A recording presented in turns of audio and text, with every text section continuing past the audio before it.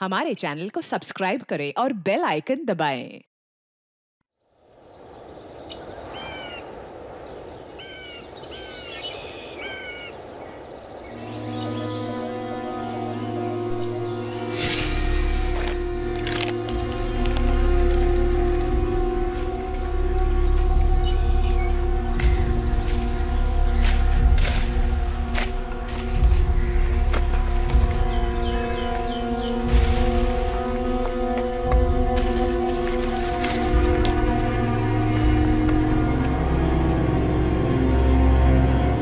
की तरफ़ बढ़ो एक एक कोना छान मारो।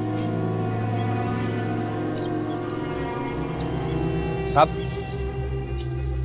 कुछ पता चला साहब? अभी नहीं गोपी। पता चलेगा तो मैसेज आ जाएगा अंदर से। साहब सब कुछ तो बताइए। अभी बताया ना गोपी को। अब तुझे अलग से बताना पड़ेगा नवीन।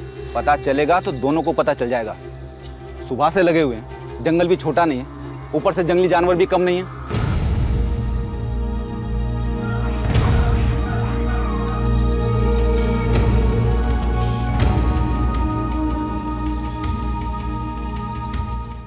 सर उन दोनों औरतों में से किसी का भी पता नहीं चला अभी तक। गाँव में पता लगाया? कहीं ऐसा तो नहीं है कि हमारी टीम जंगल में ढूंढ रही है और दोनों औरतें अपने घर वापस लौट गई हैं? No sir. सर गाँव में कांस्टेबल तैनात हैं अपने। कोई लौटा नहीं है अभी तक। सर एक औरत का पति और एक औरत का बेटा रात भर से जंगल में ही बैठे हुए हैं।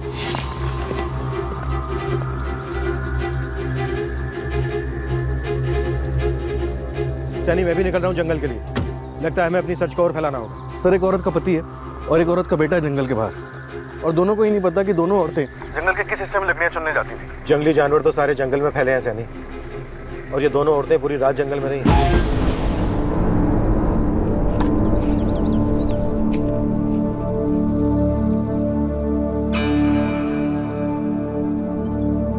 ने देखा था वो वो बेडरूम में रेस्ट करी थी। नहीं बनाएगी मतलब क्या चंदा?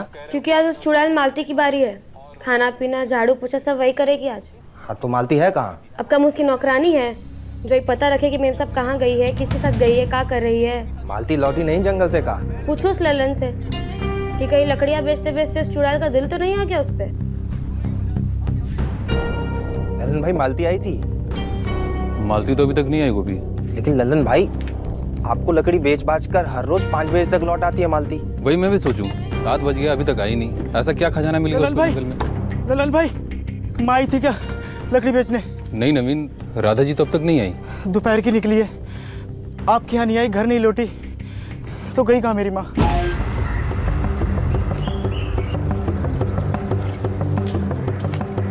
नवीन न तुम्हारी माँ राधा जी यहाँ आई हैं और गोपी न तुम्हारी लुगाई मालती।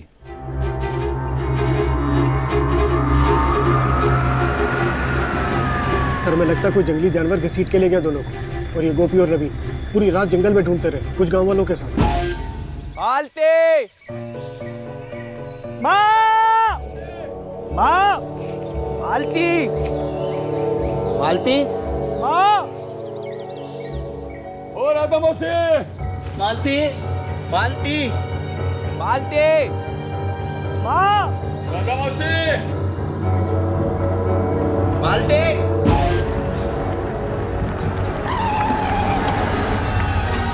सर टीम किधर गई है? छापर की तरफ़ से। साहब साहब साहब। मालिक रुकिए मालिक मालिक। सांप के पीछे दौड़ने से दोनों मिल जाएँगे क्या? तलाश जारी है थोड़ा सब्र रखो। चलो पीछे हटो। चलो पीछे।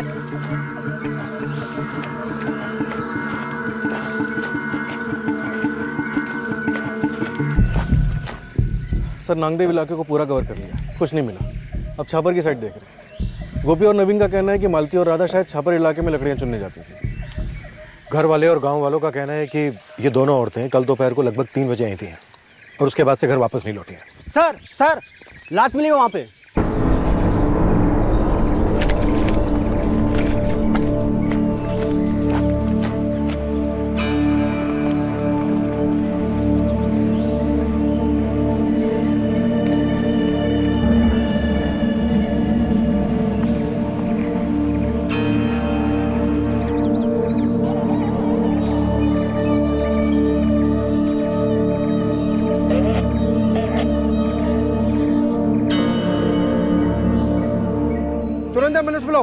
लाश मिली है। फोटोग्राफर और फॉरेंसिक को भी। हमारे नाम ओके सर पूर्वी एंबुलेंस बुलाओ।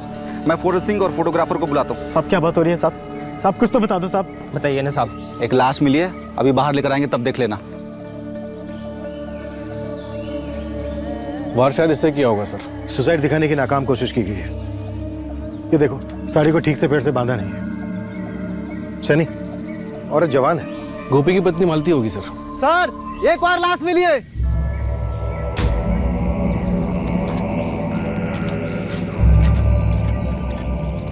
ये देखिए सर लाश।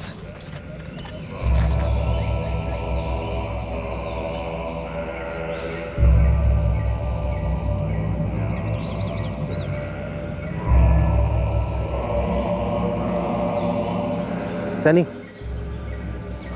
लगता है गला घोटा गया। दोनों साथ ही जंगल आया करती थी और साथ ही मारी गई सैन ये किसी जंगली जानवर का अटैक नहीं बल्कि किसी इंसान का अटैक जो किसी जंगली जानवर से भी बदतर है।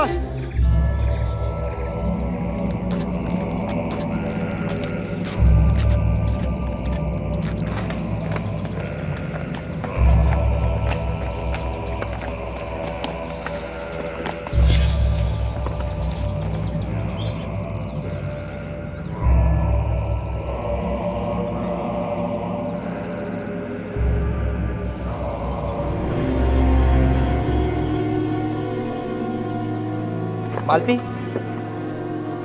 मालती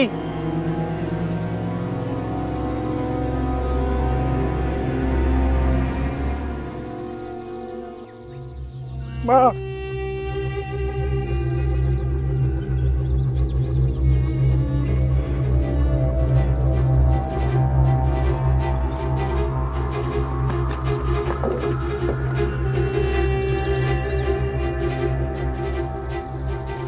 ये आदमी कौन है?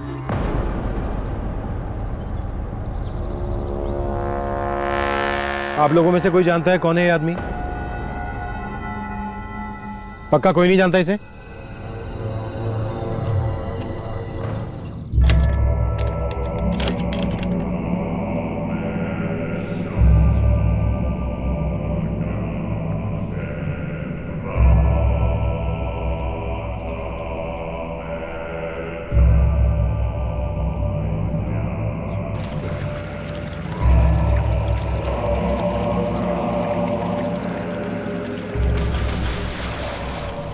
सर तीनों लाशों के आसपास से किसी का भी मोबाइल नहीं मिला। इस लकड़े पर जो खून के निशान हैं वो विक्टिम मालती के खून से मैच करते हैं। मौत हेमरेज से हुई है। इसे सुसाइड दिखाना एक नाकाम कोशिश थी। सर पर किसी भारी चीज़ से वार किया गया होगा।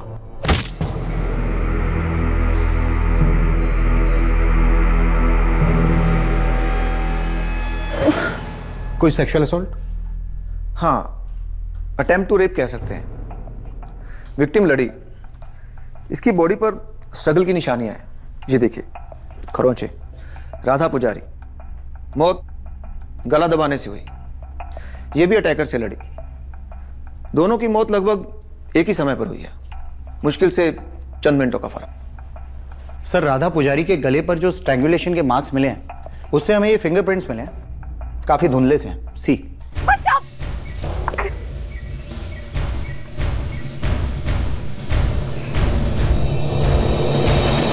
मालती की बॉडी पर कुछ उंगलियों के निशान मिले हैं। सिर्फ़ एक की उंगलियों के निशान है या और भी हैं? हमें मालती की बॉडी पर तीन अलग लोगों के फिंगरप्रिंट्स के निशान मिले हैं। उसमें से एक फिंगरप्रिंट राधा की बॉडी पर मिले हुए फिंगरप्रिंट से मैच करता है।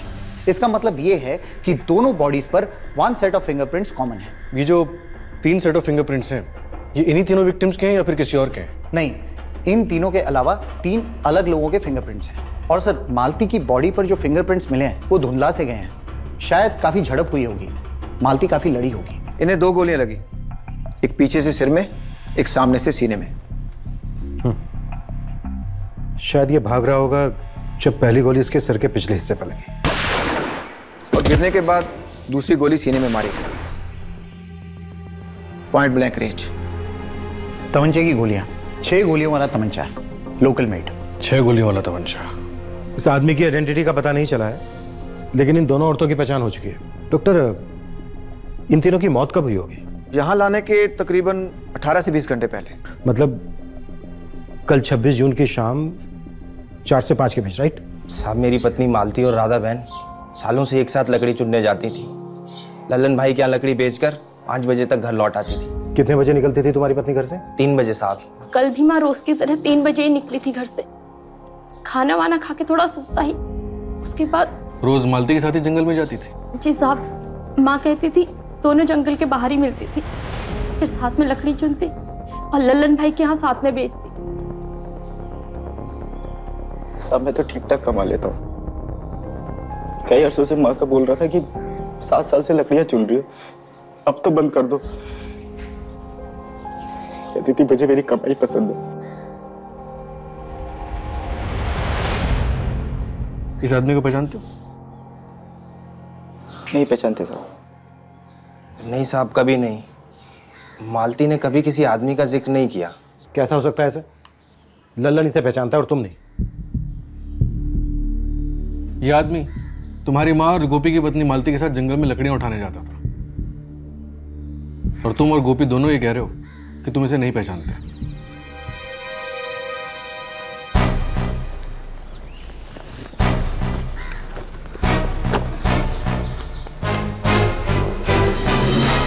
चलता हूँ।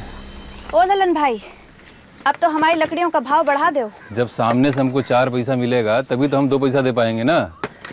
हम सब एक ही नाव में सवार हैं। पर हमारी नाव ज़्यादा झुकी है लल्लन राधा जी ऐसा लगता है लेकिन ऐसा है नहीं। गए छः महीने से लगभग रोज ही देखता था इस आदमी को। कहाँ?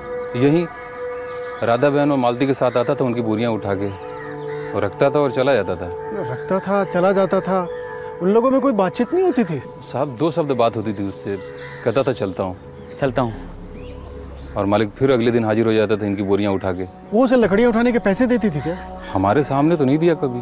तो तुमने कभी पूछा नहीं कौन है क्या नाम है? अरे साहब हमको लकड़ी से मतलब है उन लोगों को पैसे से मतलब मतलब था। मतलब तुम्हारी कोई बातचीत नहीं होती थी उनसे? जी नहीं साहब।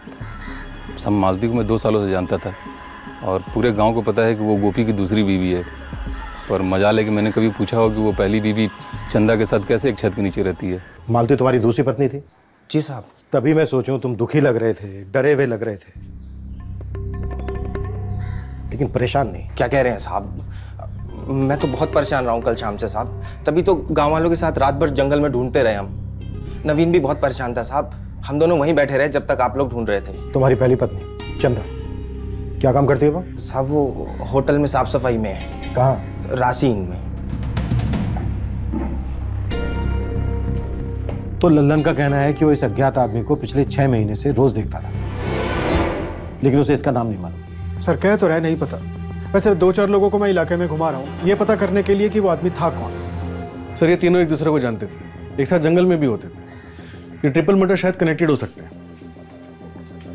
ये भी तो हो सकता है कि इन तीनों में से शायद निशाना कोई एक हो। और बाकी दो सिर्फ़ इसलिए मारे गए क्योंकि उस वक्त वो वहाँ पर मौजूद थे। सर हो सकता है निशाना वो आदमी रहा पर इस वक्त हमारे पास उस पर शक करने जैसी कोई डिटेल नहीं है। या फिर निशाना मालती भी हो सकती थी। ये मालती गोपी की पहली पत्नी चंदा के साथ एक ही छत के नीचे रहती थी। और दोनों में बिल्कुल नहीं बनती थी सर। पूछिए मत साहब दोनों बीवियाँ ऐसे लड़ती है मानो के बिल्लियाँ हैं। आप शर्मिला जी से पूछ लीजिए। शर्मिला कौन? उनकी पड़ोसन है। दो ढाई साल पहले गोपी ये दूसरी वाली को ब्याह कर लाया था। जिसका मर्डर हुआ मालती। दोनों पहले से साथ रहने लगे थे? दोनों की मजबूरी थी साहब। दोनों का कोई मायका नहीं है। मेरा मतलब परिवार नहीं है। तो अलग होती भी कैसे? कहाँ जाती? तो कर लिया समझौता। बांट लिया था आदमी को। लेकिन साहब झगड़ों में कोई समझौता नहीं किया था। तो फिर गृहस्थी चलती कैसे थी? इस गोपी ने कुछ कायदे कानून बनाए थे। जैसे एक दिन चंदा खाना बनाएगी बर्तन मांजेगी और घर के सारे काम करेगी। तो दूसरे दिन मालती। सर अपने दो चार खबरी उस मोहल्ले में पता लगा रहे हैं कि उन दो औरतों और उस आदमी के बीच में कोई चक्कर वक्कर तो नहीं था। मालती के सर पर मारा गया। उसके साथ रेप करने की कोशिश भी की गई। अधेड़ उम्र की औरत राधा को गला घोट कर मारा गया। और वो जो तीसरा अज्ञात व्यक्ति था एक गोली उसके सर पर मारी गई और दूसरी सीने पर। तीनों की लाशें अलग अलग जगह से मिली। लेकिन पास से ही। हमें इस अज्ञात आदमी की आइडेंटिटी का जल्द से जल्द पता लगाना होगा। सर गोपी की पहली पत्नी चंदा को सबसे पहले इंटरोगेट करते हैं। इस वक्त सबसे मज़बूत एंगल उसी का लग रहा है। उसके और मालती के बीच काफ़ी झगड़े होते थे। और सर नवीन की माँ राधा बहुत ही सीधी सादी औरत मालूम पड़ती है। किसी ने उसके बारे में गलत नहीं बोला। वो शायद गलती से मारी गई हो। इन तीनों के बीच रिश्ता क्या था? और इस रिश्ते से किसे आपत्ति थी? वो हमें बताएगा कि निशाना कोई एक था कोई दो या फिर तीनों। पुलिस टीम एक ट्रिपल मर्डर एक अटेम्प्टेड रेप और एक अनजान विक्टिम को लेकर जूझ रही थी। इस कांड का मकसद स्पष्ट नहीं था और स्पष्ट होने में वक्त लगने वाला था। शुरुआत हुई एक आदमी के साथ जो कुछ जानता था।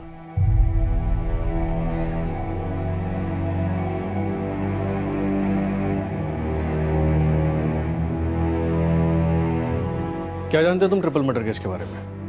हम मर्डर वर्डर के बारे में कुछ नहीं जानते हैं। पर सब जो आदमी मारा गया है वो उसको हम हम जानते हैं। उमेश यादव करते क्या हो तुम?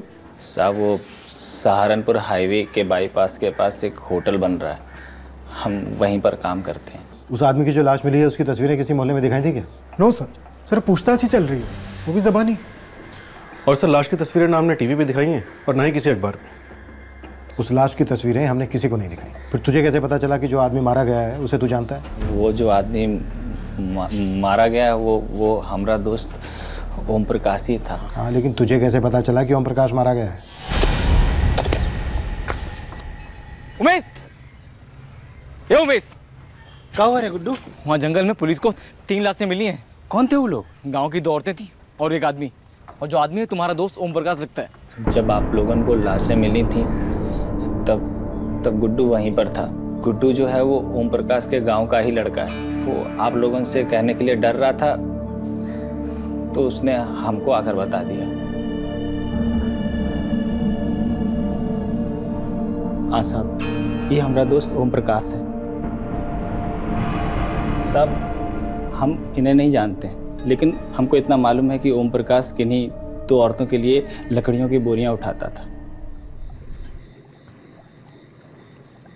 अरे ओम प्रकाश। हाँ? एक बात पूछें का? ये बताओ कि तुम्हारी फैक्ट्री की शिफ्ट तो चार बजे खत्म हो जाती है ना? हाँ। तुम काहे नहीं हमारे साइड पे आ जाते हो? साढ़े चार से साढ़े सात बजे तक। तीन घंटा काम करें। और ठेकेदार से घंटा के हिसाब से मजदूर मजदूरी ले लें। उस मजदूरी से हम कौन सा बंगला वंगला बना लेंगे हाँ? और वैसे भी हमारे लिए आठ घंटे बहुत है फैक्ट्री में दिन के। एक बात बता।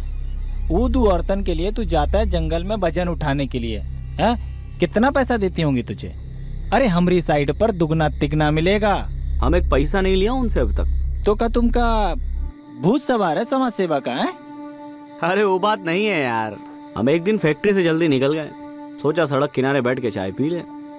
सामने से वो दोनों आ रही थी।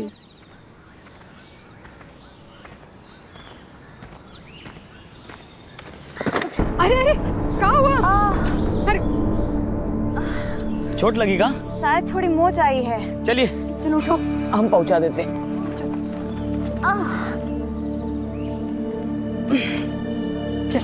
चलिए। ओ बांजी हाँ। लाइए अपना लकड़िया भी दे दीजिए हम उठा लेंगे। अरे नहीं नहीं। रहने दे। हमारी लकड़िया ही हम ही उठाएँगे। अरे तो आज हमें उठाने दीजिए। अरे रहने दे। चल। लाइए लाइए। तनक आराम भी कीजिए। दीजिए दीजिए। वो दोनों बहुत गरीब है हमरे जैसी। बेचारी लकड़ियाँ बेचकर दो चार पैसा कमा लेती है और हम भी फैक्ट्री से जाने के बाद जंगल में जाके उनकी मदद कर देते हैं। और पाँच बजे तक तीनों काम समेट कर जंगल से बाहर। ओम प्रकाश भैया दाल में कुछ काला तो नहीं है ना? है? अब भैया किसी जरूरतमंद की मदद करना जमाना काला समझे तो काला सही वैसे इसमें तुम्हारा दोस्त नहीं जमाने का है। साहब हमने कभी पूछा ही नहीं। कौन औरतें हैं क्या हैं कुछ नहीं। अच्छा उमेश दाल में क्या कुछ काला था? अच्छा उमेश दाल में क्या कुछ काला था? पता नहीं साहब पर पिछले आठ साल से ओम प्रकाश हमारा दोस्त है। जब वो गोरखपुर से आया था ना तब से हमारे साथ ही रहता है। सच कहें तो बहुत सीधा था एकदम संत जैसा। तुम्हारा ये दोस्त ओम प्रकाश किस फैक्ट्री में काम करता था? सब वो शक्तिमा इंडस्ट्रियल स्टेट है ना? वहीं पर जे एंड डी टेक्सटाइल का यूनिट है।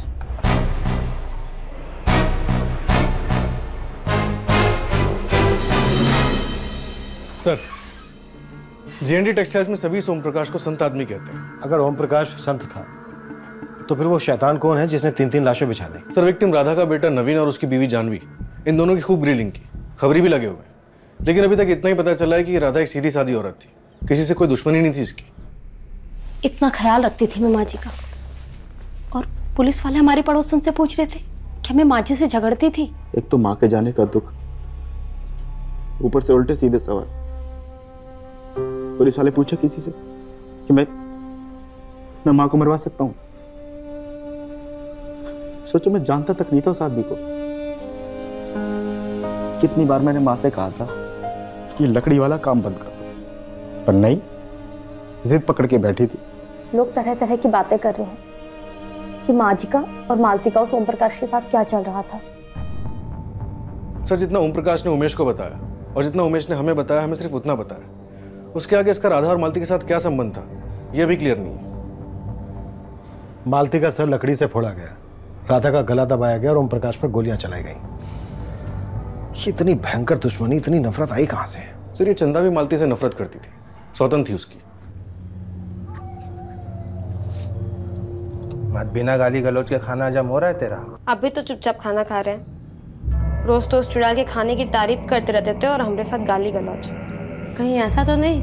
तीसरी का बंदोबस्त करके रखा हो तो हम दोनों में से एक को बाहर निकालना था। बकवास ना कर। मुझे तो शक है कि मालती को तूने मरवाया हमने ही मरवाया उसको। उस आदमी को हमने ही उसके पीछे लगवाया था उस पर नज़र रखने के लिए। और फिर मरवा दिया।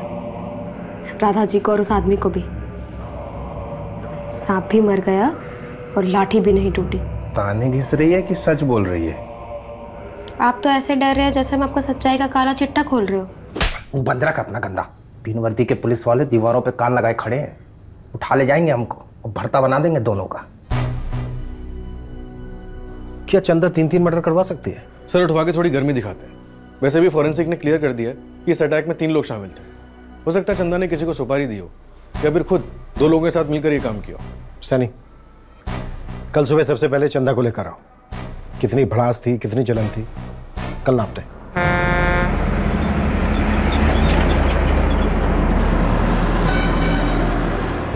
सौतन थी हमरी वो। भाग गई थी गोपी को तो उठा लाया दुश्मन थी हमारी वो। कितनी दुश्मनी थी? किस हद तक गई? हम भगवान से रोज प्रार्थना करते थे कि वो हमारे घर से हमेशा के लिए चली जाए। लेकिन दुनिया से नहीं। तेरी प्रार्थना तो कबूल हो गई। नहीं? या कबूल करवाई गई। हमें इतनी हिम्मत नहीं है कि हम किसी को मरवा सके। और वैसे भी साहब हमारी दुश्मनी मालती से थी। बाकी दो को तुम जानते तक नहीं। तो उनको मरवा के हमको कौन सा सुकून मिल जाता? रास्ते का पत्थर हटाते वक्त आसपास के कंकड़ों का ख्याल कौन रखता है? कि राधा ओम प्रकाश, ये तो आसपास के कंकड़ थे। जिन्हें तेरे भेजे तीनों हत्यारों ने यूँ ही मार डाला। कौन थे? किराए के? रिश्तेदार? या दोस्त? कैसी बातें करते हैं आप साहब? हम कैसे किसी को किराए पे लेकर आएँगे? लोग हमें किराए पे ले जाते हैं अपने काम के लिए। हमारा पति मजदूर है। और हम हम होटल में साफ़ सफ़ाई का काम करते हैं साहब। दो वक्त की रोटी ठीक से कमा नहीं पाते। तीन तीन गुंडों को पैसा कहाँ से देंगे? दोस्त और रिश्तेदार ये तो बिना पैसे के ही काम कर देते हैं। हाँ साहब लेकिन दोस्ती और रिश्तेदारी इतनी गहरी होनी भी तो चाहिए ना। हम अनाथ है बचपन से। ग्यारह साल से अपने आप को संभाल रहे हैं। और वो मालती? मालती को तो सुबह हम ज़ुबान से काटते थे साहब। मारने वारने का कभी नहीं सोचा उसको। ये चंदा काफ़ी ढीठ है। इसके और गोपी के फ़ोन रिकॉर्ड्स में कुछ नहीं दिखा रहा है सर। तीनों विक्टिम्स के फ़ोन रिकॉर्ड्स कुछ नहीं सर। बस एक ही बात कॉमन है। क्या? इन दोनों की last cell phone location Saharanpur highway के पास है। यहाँ से 40 किलोमीटर दूर।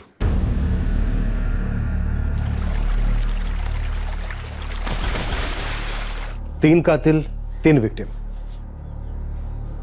इन तीनों को भला किसी ने क्यों मारा होगा? दो लकड़ियाँ चुनने वाली गाँव की गरीब औरतें और एक फैक्ट्री में साफ़ सफ़ाई का काम करने वाला आदमी। वो भी संत टाइप का। सर कहीं ऐसा तो नहीं असली टारगेट ये ओम प्रकाश था और ये दोनों औरतें कोलेट्रल डैमेज उमेश यादव? सैनी कहीं ऐसा तो नहीं है कि ये उमेश यादव कोई कहानी बना रहा है?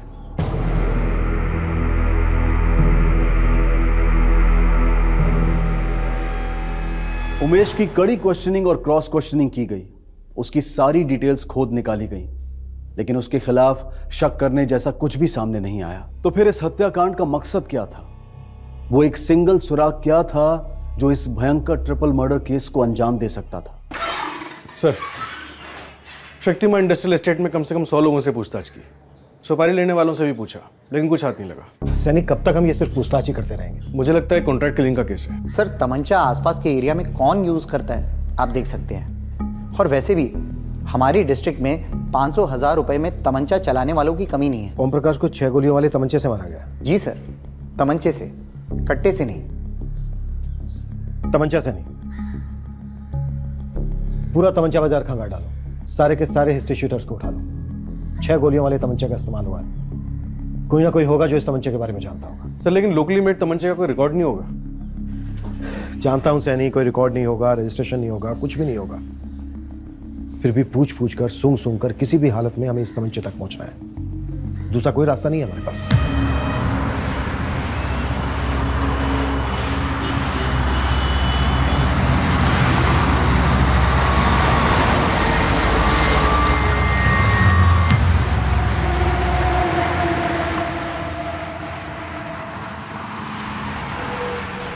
नीचे देखो टेबल पे।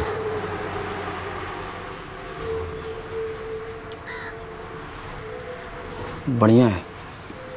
कुंवारा है कि खून चका चुका है? क्या है? तुमको क्या करना है? हम एक खास तमंचा ढूंढ रहे हैं। घास के बोरे में सुई खोज रहे हो?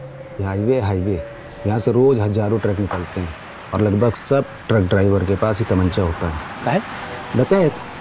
जब सहारनपुर से माल लाद के देहरादून जाते हैं और जब देहरादून से माल लाद के सहारनपुर आते हैं तब हाईवे पे लुटेरे धावा बोल देते हैं उनसे बचने के लिए।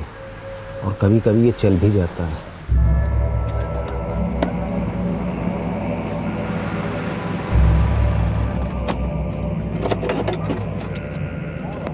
सर जिस जंगल में कांड हुआ वो सहारनपुर और देहरादून के बीच में पड़ता है।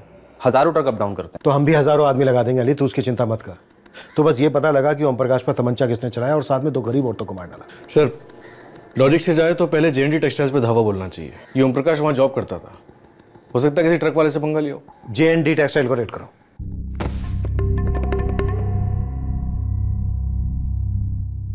शक पहले तीनों विक्टिम्स के करीबी लोगों पर था। फिर इन्वेस्टिगेशन का फोकस शिफ्ट हुआ व्यक्तिगत दुश्मनी पर। और आखिरकार किसी अज्ञात हमले का एंगल भी इन्वेस्टिगेट किया गया। अब सारी तहकीकात एक तमंचे पर टिकी थी। किसने ये तमंचा फायर किया था? और वो कौन तीन लोग थे जिन्होंने ये तीन कत्ल किए थे और क्यों? इस ट्रिपल मर्डर ने सारे इलाके में सनसनी फैला दी थी। लोगों में बेचैनी बढ़ती जा रही थी। वो भी जानने के लिए उतने ही उत्सुक थे जितनी पुलिस। क्यों हुए थे तीन कत्ल?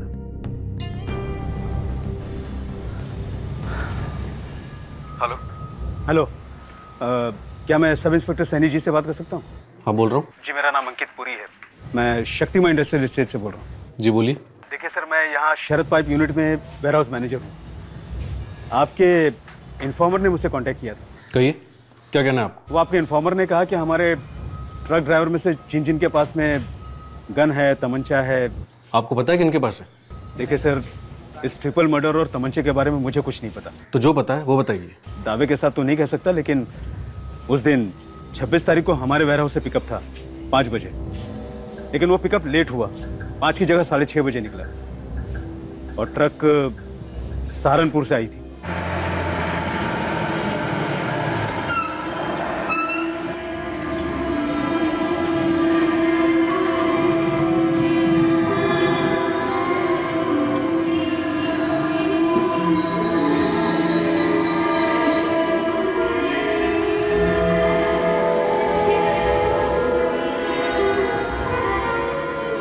कितने बजे भाई कितने बजे हैं? ट्रैफ़िक लग गई थी ना साहब। वो बाहर का तो पूरा रोड जाम पड़ा है। चार घंटे तो हम खुद अटके पड़े। साहब हम लोग सुबह ग्यारह बजे सहारनपुर से निकले। साहब हमें भी तो रात को चलाना पड़ेगा ना गाड़ी। खतरा सर पे उठा के। मैंने पार्टी को जबान दी है कि सुबह पाँच बजे हमारा माल उसके वेयर हाउस में होगा। और होगा मतलब होगा। Sir Kadar Sayyed truck driver है। मोहसिन अंसारी उसका पार्टनर ड्राइवर है। और जहीर सिद्दीकी क्लीनर था उस ट्रक का। हाँ पर आप इन तीनों की बात क्यों कर रहे हो? सर उन तीनों ने कहा कि वो लेट हुए थे। हाँ तो? सर मेरे सुपरवाइजर नितिन ने मुझे एक बात बताई। सर ये तीनों एक नंबर के झूठे हैं। क्यों? सर आज जब मैं छापर फैक्ट्री गया था दोपहर में हाँ क्या हुआ? तो सर मैं जंगल रोड से लौट रहा था। उस समय तकरीबन तीन बज रहे थे दोपहर के। तब मैंने देखा इनकी ट्रक वहाँ जंगल के पास रुकी हुई थी।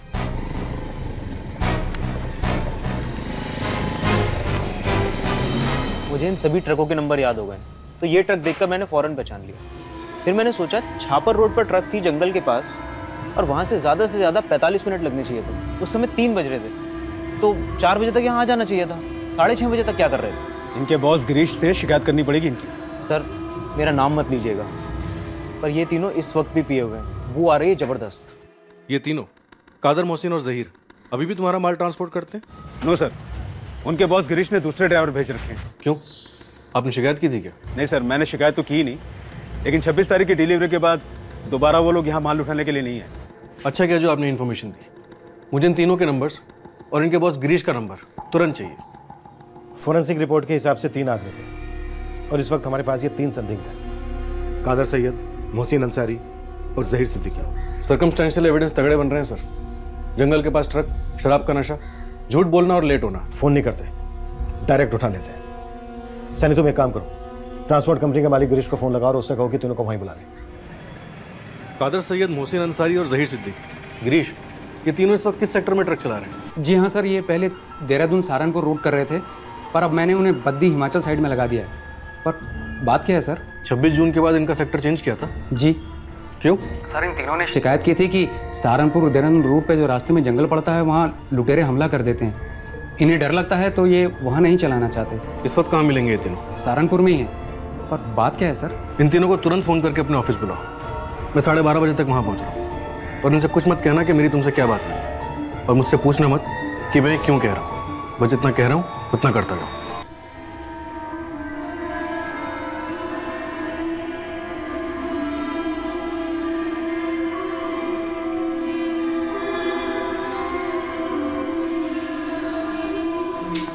डिलीवरी कहाँ करनी है गिरीश भाई? बताता हूँ बताता हूँ। पीएसआई सैनी गिरीश भाई ये, ये क्या हो रहा है गिरीश भाई? दरअसल जो कांड होना था वो हो चुका है। कैसा कांड साहब? 26 जून को शाम तीन चार बजे के आसपास छापर गाँव के पास वाले जंगल में तुम लोग क्या कर रहे थे?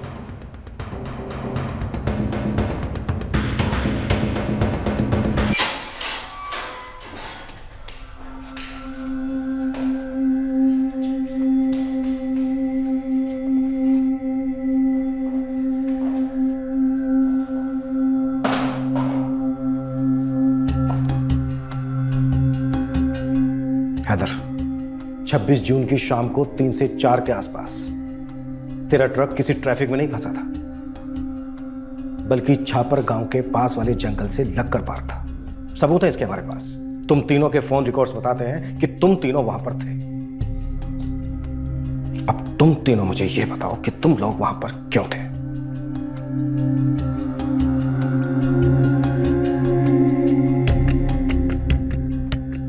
इन तीनों की किसी ने तस्वीरें दी थी तुम्हें? और बताया था कि तीनों उस वक्त वहाँ पर मिलेंगे, खत्म कर दो। क्या फिर ये सब एक इत्तेफाक था कि उस वक्त तुम लोग वहाँ पर थे और बस एक लम्हे में ये सब हो गया। देखो, इस वक्त मुझे सिर्फ़ सच सुनना है, पूरा सच। और वो भी बहुत जल्दी। या तो तुम तीनों मुझे ऐसे ही सच बता दो। नहीं तो अतड़ियों में हाथ डाल के सच निकलूँगा। कादर, मोहसिन और जहीर तीनों हक्का बक्का रह गए कि आखिरकार पुलिस उन तक पहुँची कैसे। इन तीनों ने कभी नहीं सोचा था कि ऐसा हो सकेगा किसी दिन। ठीक उसी तरह, जैसे इन तीनों ने सोचा नहीं था कि 26 जून की उस शाम को जंगल में क्या होने जा रहा था।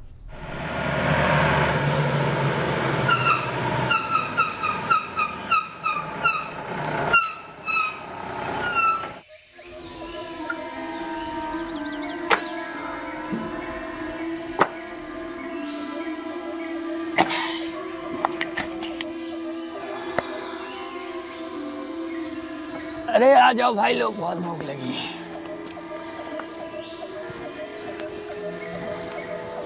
हो जाए दो दो घूट। अरे हो जाए इसमें पूछने वाली क्या बात है?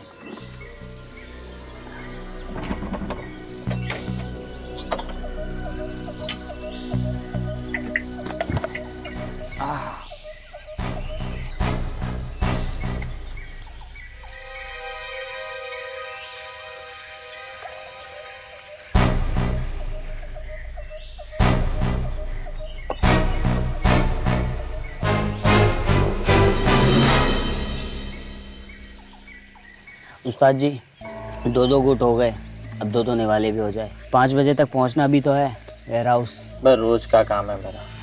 माल उठाओ माल पहुंचाओ। मसाला मशीन हो गया है हम आँखें मूंद के भी पहुँचा दूँ ना तो भी माल पहुँच जाता है जहाँ पहुंचाना होता है।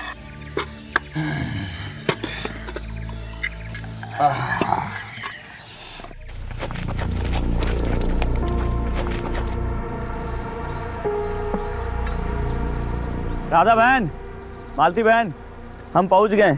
अरे हाँ हाँ बैठो भी। अब तक हमारी लकड़ी इकट्ठा नहीं हुई है। ठीक है बैठे वहाँ पे।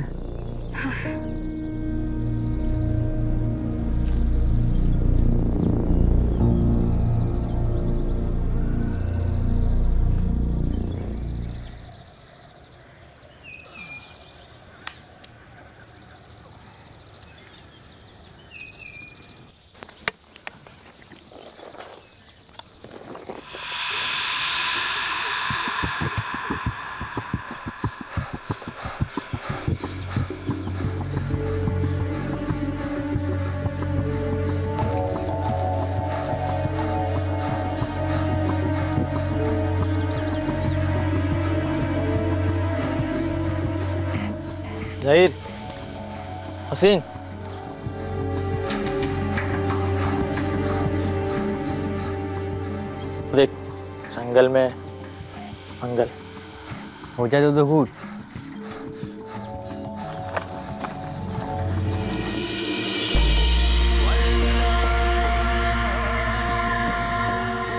कौन है आप लोग? क्या चाहिए?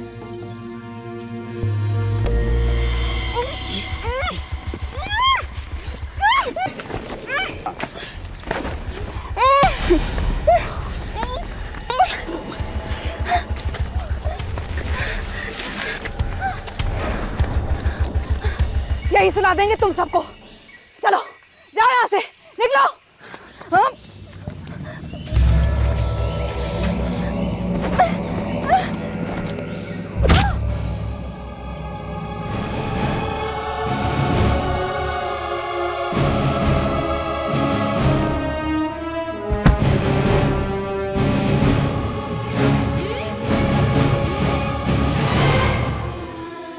अरे ये तो लुढ़क गई। एक काम करते पेड़ से बाँध देते इसे। ऐसा लगेगा कि खुदकुशी कर ली इसने।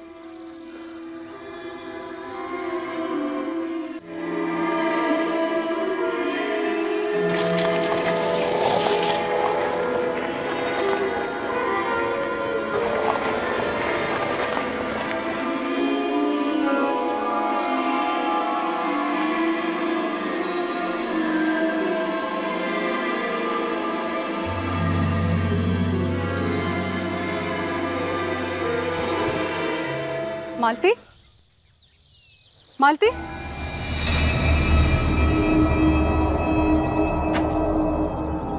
ये कहा हो रही है? यहाँ कौन हो तुम लोग? ये क्या कर रहे हो? मोहसिन संभाल उसे। उसे देख लिया मैं जा। क्या कर रही है तुम? क्या कर छोड़ छोड़ दे। आ, छोड़ छोड़ दे।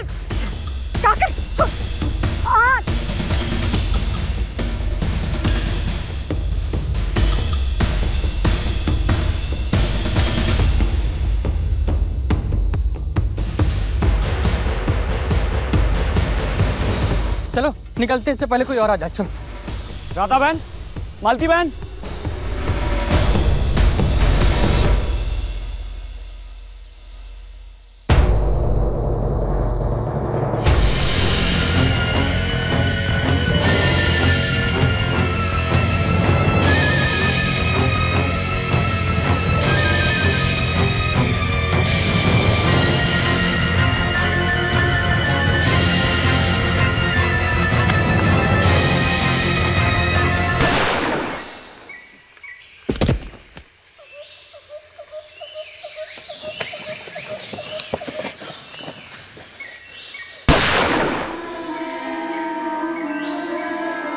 क्या करने आए थे और क्या हो गया? सारा तीन दिन लोगों का मर्डर हो गया। जो हो गया सो हो गया। चलो निकल जाए यहाँ से। तुम लोगों ने एक औरत का रेप करना चाहा। नहीं हुआ तो उसे मार डाला। एक दूसरी औरत ने तुम्हें देख लिया तो तुमने उसे भी मार डाला। उसके बाद एक आदमी ने और देखा तो तुमने उस आदमी को गोलियों से भून डाला।